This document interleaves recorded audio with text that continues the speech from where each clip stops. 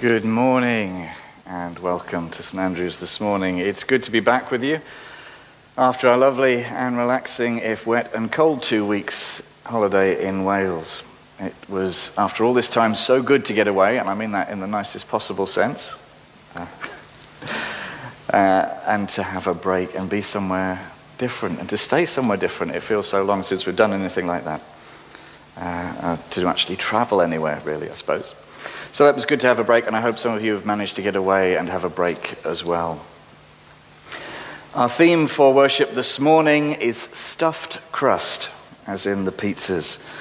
The Revised Common Lectionary, if you follow it, has been working its way through uh, the sixth chapter of John's Gospel over this last month. And it's all been about bread. Now, you know what happens when you eat too much bread. But having had a self imposed media blackout over these past two weeks and catching up with news yesterday, I'm grateful to be able to draw on resources from Roots for this morning's worship regarding all that's been going on in and around Afghanistan. But our theme still revolves around bread and whether too much of it is a good thing or a bad thing. So let's begin our worship together as we light a light for worship.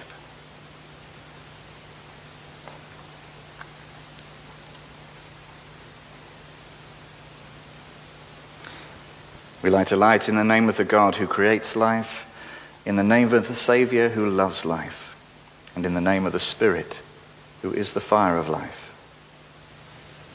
Amen. Let us pray. Our God offers us hospitality, and God's welcome is generous. God is here among us, meeting with us in our worship and in our fellowship. God longs to meet our needs as we come with hands open and arms outstretched welcoming God, we come to you with open hearts and with open hands.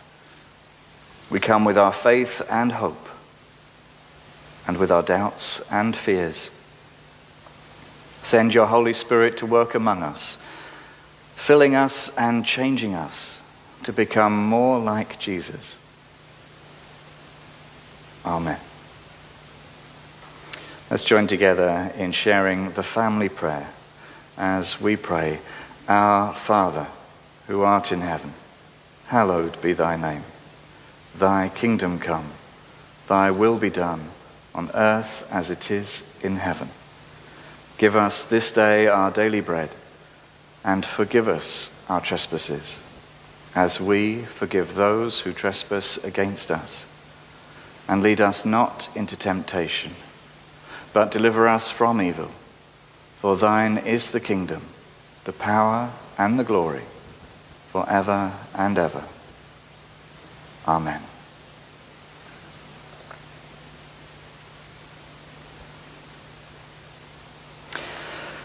Now, inevitably, when you go on holiday, you take too much stuff with you. The thing is, not only did we take too much stuff with us, we left too much stuff behind, and the weird thing was, we came back to find even more than we'd left. Which sounds really odd, but when you realize you've left uh, uh, your son and, and your daughter at home, you realize not only did they go out and buy some food, but they didn't touch the stuff you'd left for them. This was particularly the case with the amount of bread that we had, uh, which is actually, I have to say, completely by chance given the readings for this morning.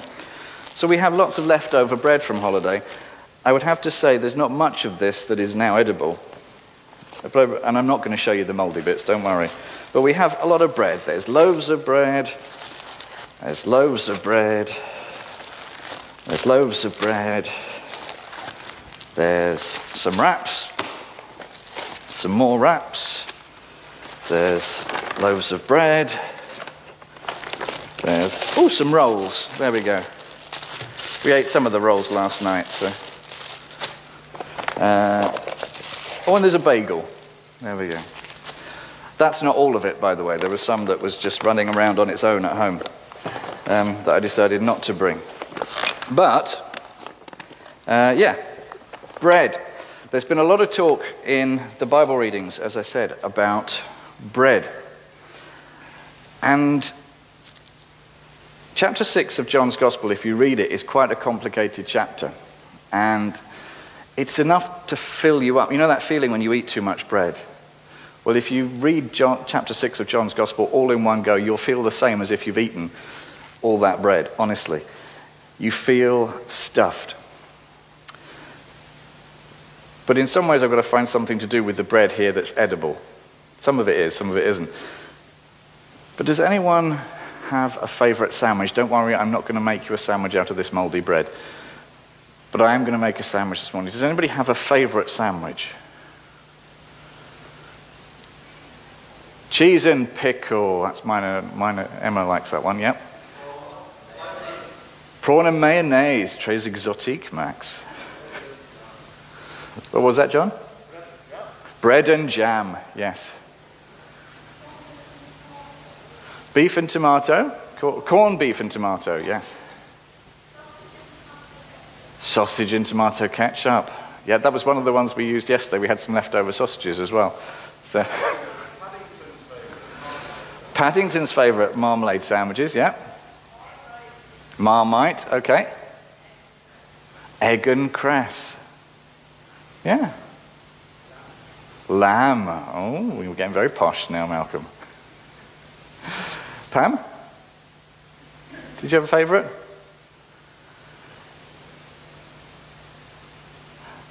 Okay, right. Anybody over there? Sorry, I missed you all stuck in the corner down there. Cream cheese and ham. Mmm. Bratwurst in a roll. Yes, I used to, when we had um, uh, in Coventry, we used to have the, the, the, the, German sort of huts that set up in the middle of the city. Um, not just at Christmas, they were there throughout the year, and you could go and get the giant sort of sausages that long in the roll, which was ridiculous. Right, anybody want to take a guess at what my favourite sandwich is? Because I'm going to make a sandwich this morning. Anyone? Marmite. Marmalade. Yeah? Peanut butter and jam. Peanut, uh, do you know what? I, when I was living in Shrewsbury, uh, the minister's wife there was, was, from, uh, was from America, and she introduced me to peanut butter and jelly. We would say peanut butter and jam. But yeah, that's become a favorite since then. But I have a sandwich that I make, or I have it on toast, if I can't decide if I want something sweet or savory. And I'm going to recommend it to you and challenge you to try it at some point. Um, but I will make it this morning. And I am using the healthy bread, don't worry. Right. Okay, so we'll put a bit of marge on. On there. Okay, it's got two other ingredients to it. Anybody want to guess what they are? Cheese? Nope. Nope. Nope. Not tuna, no. I don't think that'd be advisable on a warm day in church. No? Okay. Here's one. Marmalade. Predictable. Okay. That's the first ingredient. Now you're going to wonder what on earth goes with marmalade, aren't you? Bacon. Bacon would go well with I like bacon and treacle, especially streaky bacon. Cheese would work. Jam? I don't think, you might not get it, actually.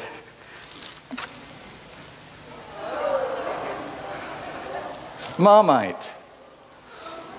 No, it's not. No, honestly, it's really nice. Now, she won't be watching, but my Auntie Hazel introduced us to Marmite and marmalade on toast. It was one of those things, you know, when you're little and you get to go and stay at your auntie's and you're allowed to do whatever you like. We used to make potions in the bath out of all the different things that were in the cabinet on the side. There we go.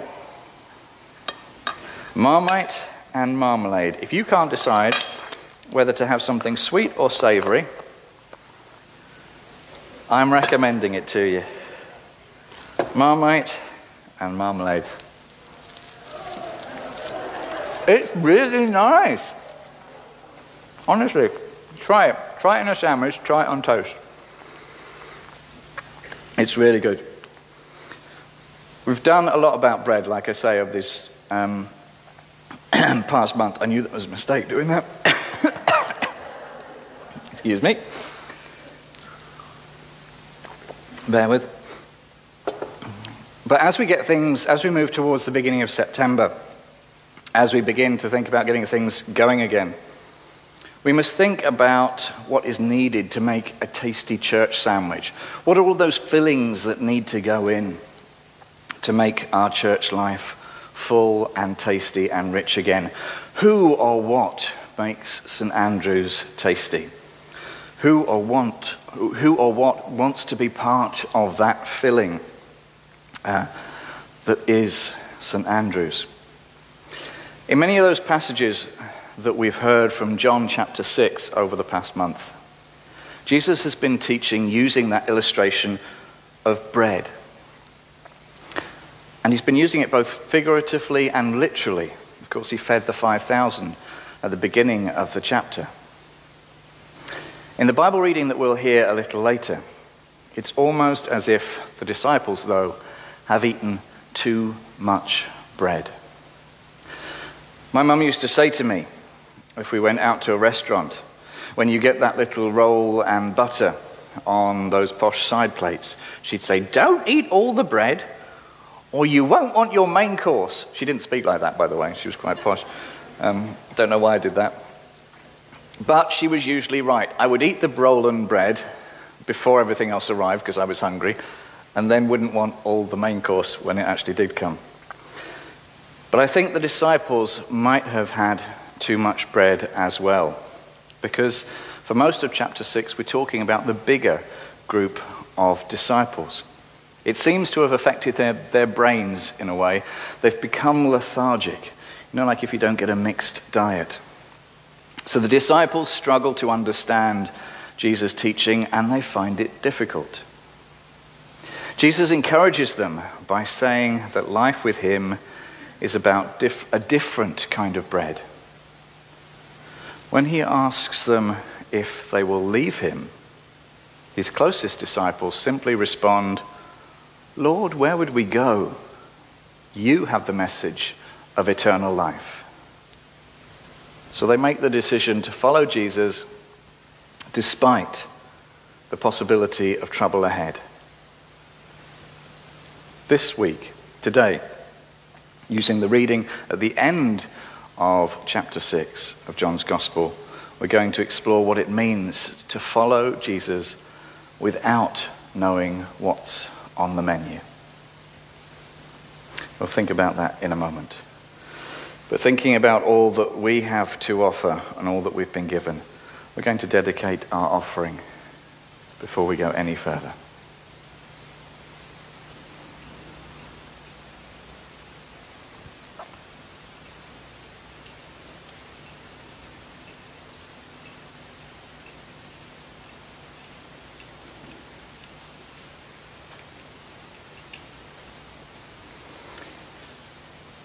Loving Lord, take these gifts.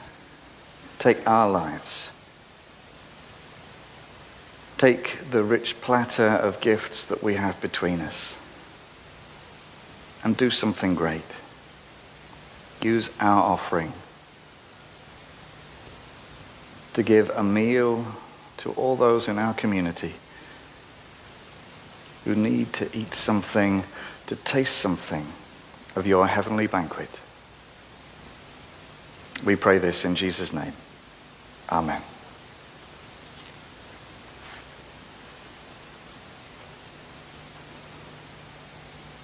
Before Lisa reads to us from John chapter 6, beginning at verse 56, about Jesus' bread and about Jesus' word, we're going to hear, we're going to sing our first hymn Put peace into each other's hands. It can be found in Rejoice and Sing at number 365. But verse 3 of the hymn sings of bread broken. Of course, this was before bread knives. Uh, one thing we found that we, you know, when you have that list of things you want to take on holiday or ought to take on holiday, bread knives were adding to our list because there wasn't one. But bread is broken here, very physically.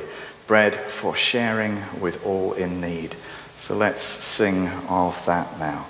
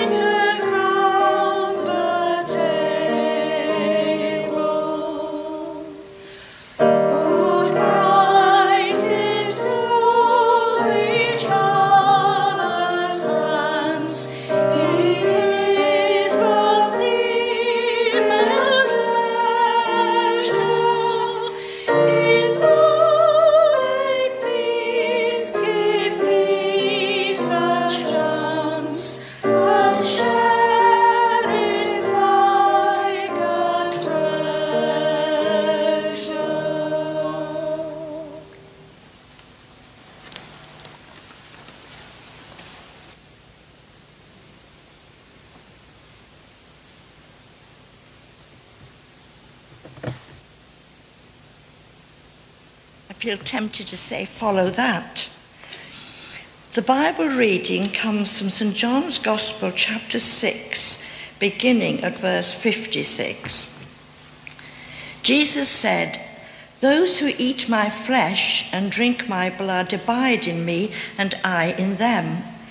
Just as the living Father sent me, and I live because of the Father, so whoever eats me will live because of me.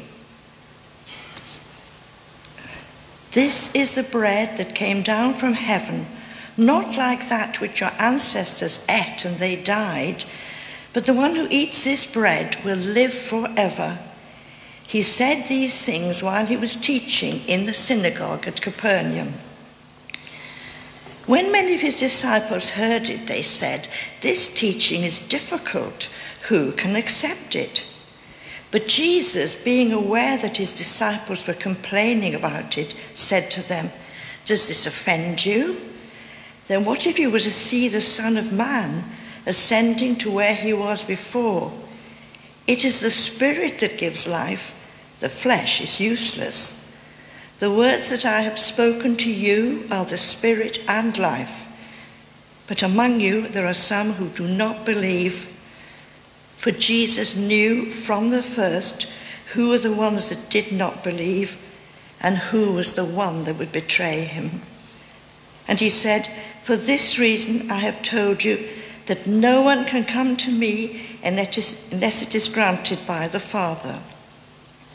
Because of this, many of his disciples turned back and no longer went about with him. So Jesus asked the twelve, Do you also wish to go away? Simon Peter answered him, Lord, to whom can we go? You have the words of eternal life. We have come to believe and know that you are the Holy One of God. Thanks be to God for these words from the Scriptures.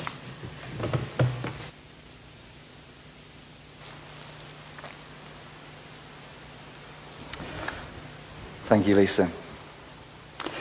Is it possible to have too much of a good thing?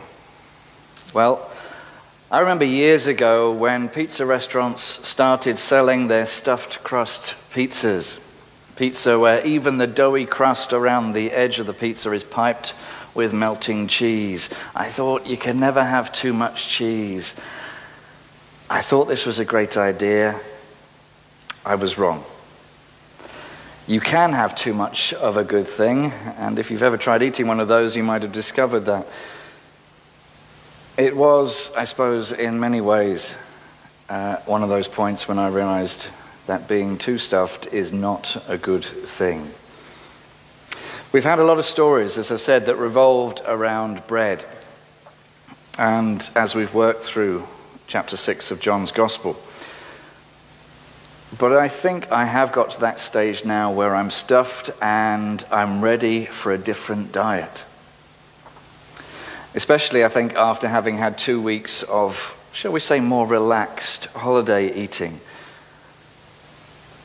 I remember my parents recounting to me as a small child the sad story about one of our neighbors who developed such an addiction for bread that was all they ate. That they would have bakers deliver trays of bread direct to their home. This was decades before anybody had things like click and collect and home deliveries. In that sense, eventually, and sadly, this person had eaten so much that they could not leave the house. And sadly, this person died. But they had grown so big through eating so much bread that the fire brigade had to be brought in to remove their body from the house. It is one of those stark reminders for me that you can have too much of a good thing.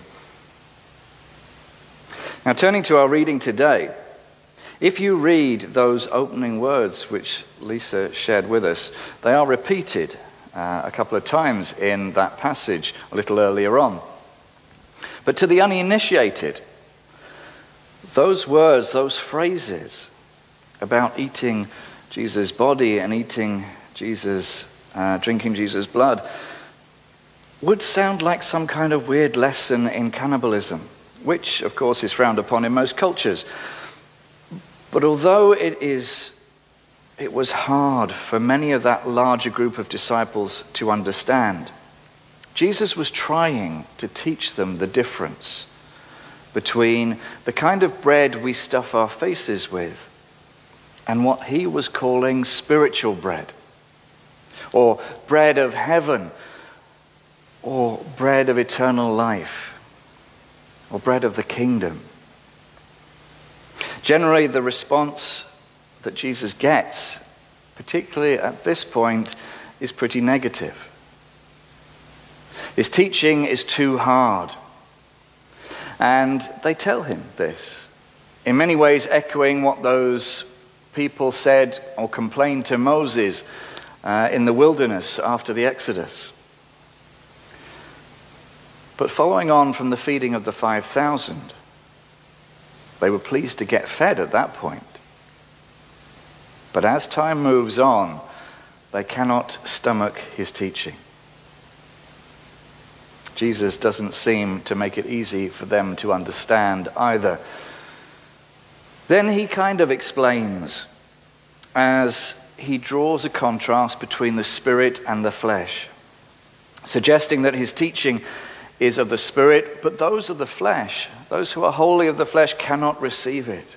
Those who don't have that spiritual soul. It gets complicated, I'll grant you, but keep reading it. The contrast here is between what human nature can conceive and what the Spirit brings about. Jesus says that he has spoken words of spirit, words of life. But he knows that some, perhaps most, who are listening to him won't get it. And as if to prove his point, in that moment, many of the disciples leave him. Jesus asks the twelve if they want to go too. And we get Peter's great confession in verse 68. Perhaps this is the point of the whole drawn out chapter, with all its overeating of bread. It is Jesus sifting the wheat from the chaff, getting to grips with the group that he will work with for the next couple of years, trying to ensure that they have some clue of what is on the menu. Never has this been more important for us to hear than as we try to reframe our church life in our local community. It is also important for us to hear as a nation and on a global scale at the moment. Now, as I said earlier, I have to admit to not reading a newspaper or watching the television news or listening to the radio at all over the past few weeks whilst I was on holiday in Wales. Deliberately also not taking my laptop with me also meant that I didn't have my other usual source of news updates. So to hear and to read about all that has been going on in Afghanistan over these past few weeks yesterday was a big shock. After all that's happened over these past 20 years, in many ways we seem to be back to square one. Whether you agreed with our government's decision to get involved in the whole situation in the first place, after the loss of life and all the people affected by being involved, you can't help but wonder what was the point. Was it worth it? But also, Perhaps the bigger question for us is what do we do now? Perhaps echoing those thoughts and queries of many of Jesus' disciples outside of the twelve, we might well ask what do we do in the face of the news from Afghanistan? In verse 63 of John 6, we're reminded by Jesus' words as he speaks words of reassurance into a difficult situation in troubling times. He says, It is the Spirit that gives us real life. The flesh is all but useless. Difficult words to hear in the midst of a real life situation if you're fleeing from your homeland whilst trying to keep your family physically safe and together. Yet Jesus continues, The words I have spoken to you are of spirit and of life. So here there is hope. It is heartbreaking to witness the Taliban's recapture of Afghanistan following the withdrawal of the US led coalition armed forces. It's been a huge shock to people around the world, not least to some of the soldiers who've served there over the past 20 years. Those who have shed blood and witnessed such loss of life that most of us hope never to see in our lifetimes. In the face of such overwhelming, uh, an overwhelming event, and the feelings of helplessness and despair it may evoke, it is both natural and right, for people of faith to ask that question what can we do? For Christians, the answer to what can we do is that we must recommit ourselves to Jesus to answer Jesus' call, that call to follow me. As the apostles ask in today's gospel reading, Lord, to whom else would we go?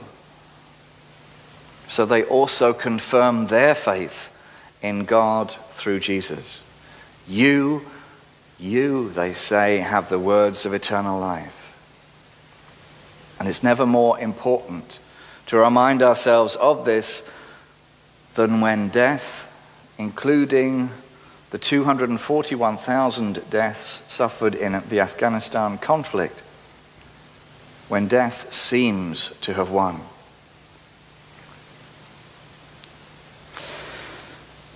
For those of you that are Harry Potter fans, my holiday reading book this year was reading for the second time the Harry Potter and the Deathly Hallows. The Deathly Hallows is the final story in the saga. It revolves around various characters' attempts to claim victory over death itself. And it includes some strong biblical themes and quotes.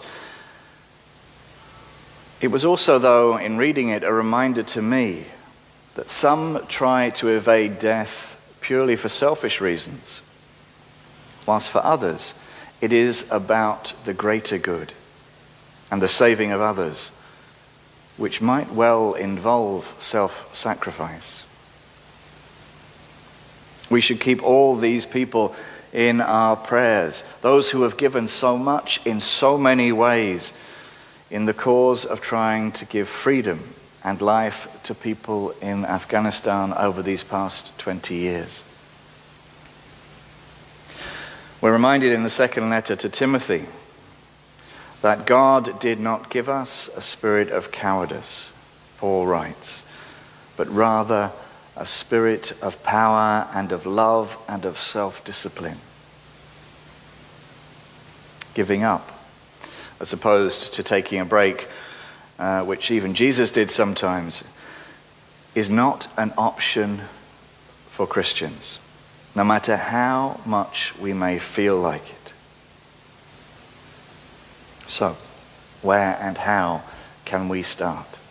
Where is easy? wherever we are right now, here, at home, at work, at school or college, in shops, in streets, among our families, our friends, and our neighbors. And don't forget, when we say that, what we as Christians mean by neighbor and all that comes with that word. This is someone we need to be caring for in the full sense of the word. The how, how we do it, is easier than it may seem as well. Some of us may be called to work with aid and development agencies, some with in political or diplomatic situations, or refugee organizations directly involved in caring for those most at risk, and we're likely to see that here in Leeds. Working amongst those who are particularly vulnerable women and girls, Afghans who worked for the Allied forces, everyone whose social or online behavior over the past 20 years may now be unacceptable to their new rulers. And the refugees being driven from their homes by violence or fear. Some of us will inevitably encounter new Afghan immigrants to our own country. And their physical and mental well being will depend greatly on the warmth of the welcome they receive among us. The head of Migration Yorkshire, Dave Brown, said that Yorkshire and the Humber are ready to take in refugees from Afghanistan. Some people have already been settled in the region, but local authorities are getting ready to accept more. We've heard in this past week that the UK will welcome some 20,000 refugees trying to escape the terror in Afghanistan over the next few years. Dave Brown said in an interview on ITV News it's a whole society response to this issue. No one alone can do this. But what we do have in this region, in Yorkshire and the Humber, has always been that when we have been in a difficult situation, emergencies like this, humanitarian need, people come together, do the right thing, and we're always leading the way in that. That's from Dave Brown, Migration Yorkshire. Earlier this week, we heard that some 2,052 Afghan nationals had already been evacuated so far into the UK. We've also seen planes arriving in the UK carrying both Afghans and British nationals. When the first evacuation flights, including nationals and embassy staff, started arriving last Sunday in Brize Norton, the Royal Air Force Base in Oxfordshire. But over these coming weeks, over these coming months, all of us can try to make sure that we are well informed about the situation of God's children fleeing their homeland. A biblical theme we see time and time again Afghan sons and daughters. And we can pray both generally for all of them and specifically for persons or groups or communities to whom our hearts are drawn, or for those we know to be moving into Leeds or Yorkshire.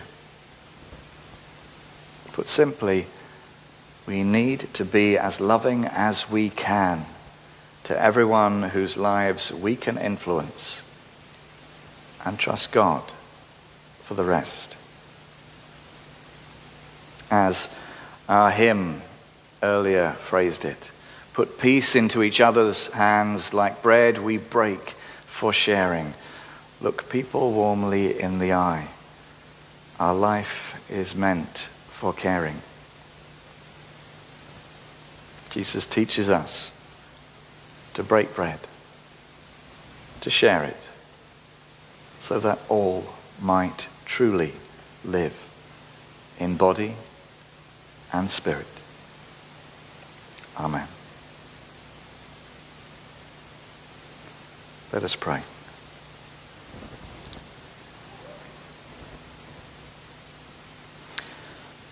When we turn away from you, O God, and go our own way, forgive us and turn us back to you. When the way ahead is not clear, when everything feels too much, when we make wrong decisions and our actions hurt others,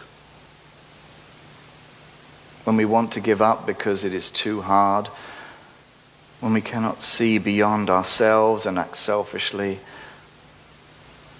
when we do not put you and others first.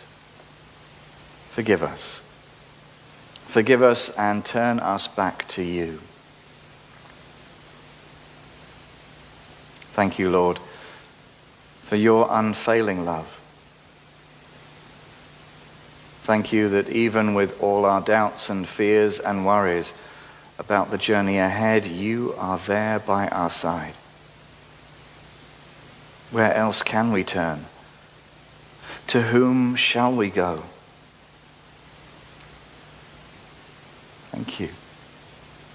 Thank you that as we choose to go on this journey with you, as we make decisions and plans, you are there, gently leading and guiding, always present.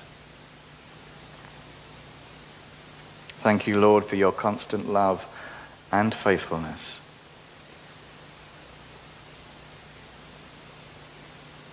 Lord God, give us the courage and the faith to keep serving you and not to be swayed by the things in the world around that might call us away from you.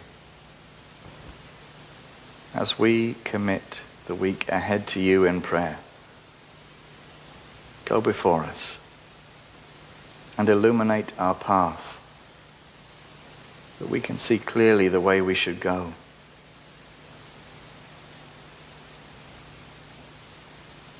We pray for Christians under severe pressure to turn away from you, whether that be through persecution, resistance, undermining of authority, tough workplaces, or for any other reason known only to you.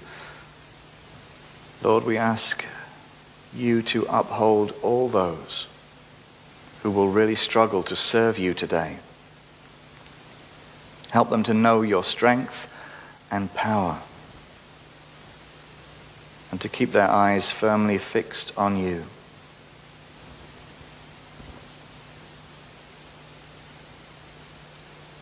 Father, we pray for those who are in any form of pain or distress today. Some will be calling out to you for help. Others may not even know that you are there. But all need our prayers and your comfort. Be especially close to those who are fearful, we pray. We name in our hearts any we know who may be facing operations, difficult diagnoses, anxiety, or depression, loneliness, or death. We pray for all those who will care for them, asking that you will bring a healing touch, a listening ear, a timely word,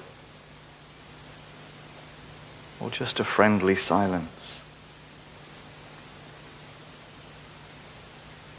We pray for the recently bereaved that your comfort will be very close to them. And Lord, we know that sometimes when we are suffering, we feel you very close at hand. At other times, for no explicable reason, you seem so far away.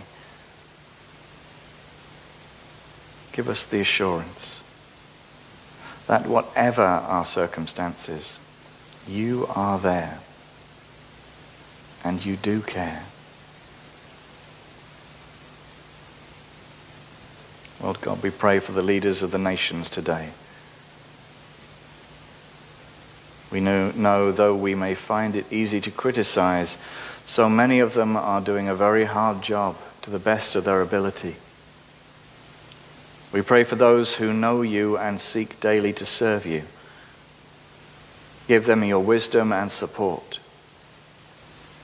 We pray for those who are self seeking, who lust for power, and who, for whom that lust for power is devastating the countries they rule. Lord, give them a sign of you. Jolt them into realizing that there is a God who desires to help them rule justly. We pray that justice will reign in your world. And we lift to you now countries and places where we know this is not happening. We cry out to you for the people in Afghanistan and Haiti. And we lift the grieving people of Plymouth to you. The families and friends of the five people who needlessly lost their lives. We ask, Lord, for a new determination amongst world leaders to put the needy at the heart of their decision making, particularly refugees. And so we thank you, Lord, for all that our local community has to offer. We pray for church leaders and any decisions that have to be made as COVID restrictions continue to ease. We pray for our local shops and offices and all who work there, especially for those who are still very anxious about COVID, whether because it is affecting their business or because they would rather work from home but no longer have the option. We pray for our neighbors and our friends and for all who are enjoying holidays at this time, that they might find true rest and restoration in you. And we commit ourselves to you. in all that we do this week. Help us to trust you in hard times, not to forget you in good times. Give us the joy of your presence in everything we do so that we remember to choose each day and every day that we will serve you. Lord, who shall we turn to but you? For you have the words of eternal life. Amen.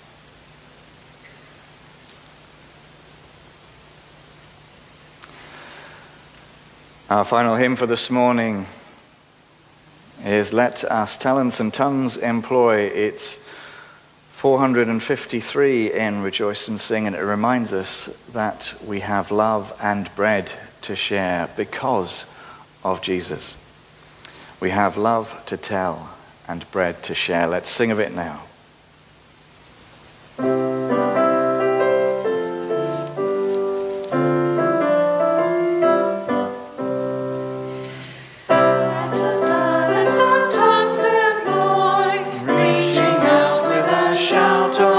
For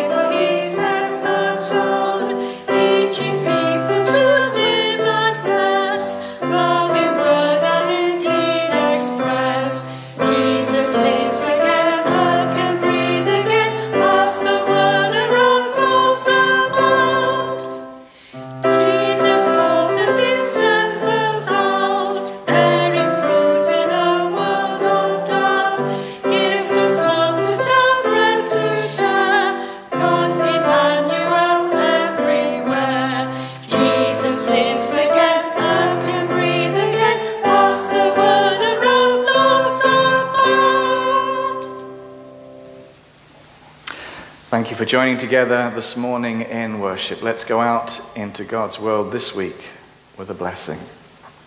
May the blessing of Creator, Son, and Spirit, source, light, and love, feed you and live in you this day, this night, and always.